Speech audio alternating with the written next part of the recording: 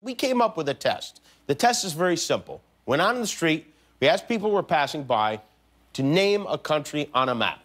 That's it. We had a map, we said, name a country, any country. and here's how that went.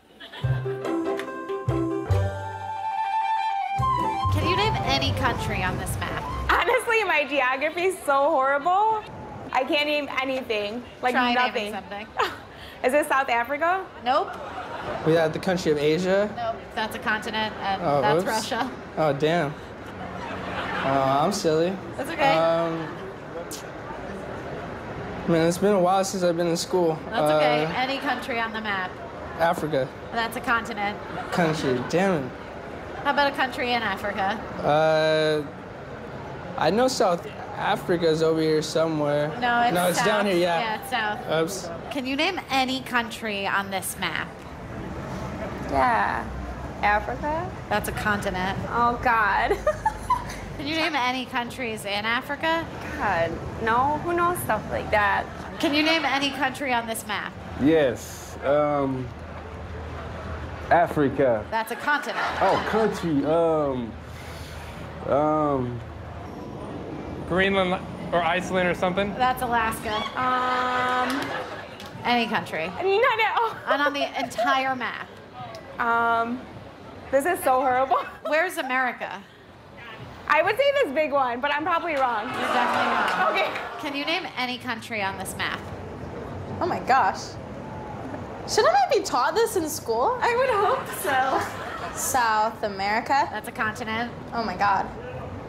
How Then, about a country in South America? um, yeah. Honduras is here, here, here, here, here, somewhere here. Nope. Can you name any country in Europe? Is this one Europe?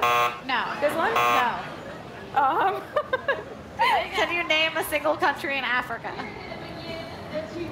was this Africa? No. Again, that's South America.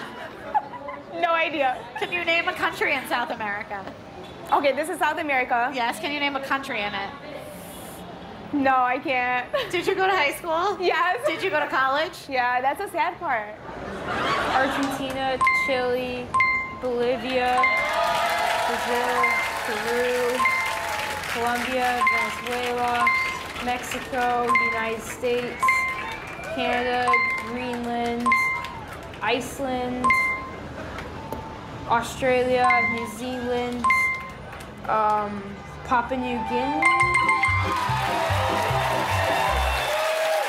Oh, thank God. well, if you didn't believe that children are our future before, now you do. I think obviously the first question is what I think our audience wants to know what does it feel like to be smarter than everybody in Los Angeles? It feels good. Good, good, good. All right, so um, just tell us a little bit about what that experience was like. So my dad took us on a trip to Hollywood, and we were in Hollywood. We were walking on Hollywood Boulevard, and Jimmy Kimmel's crew asked us if I could help them or something. I said sure. And did you, you said sure. Okay, you didn't know what it was? Yeah. You saw the map? Yeah, they us, They quizzed me on the map. Okay, and you like maps? Yeah, I guess. All right, you don't love maps, but you just happen to know something about maps. Yeah. Yeah. Okay, that's good. Um, I, uh, tell us a little bit about uh, what your life has been like since becoming famous. Kind of annoying.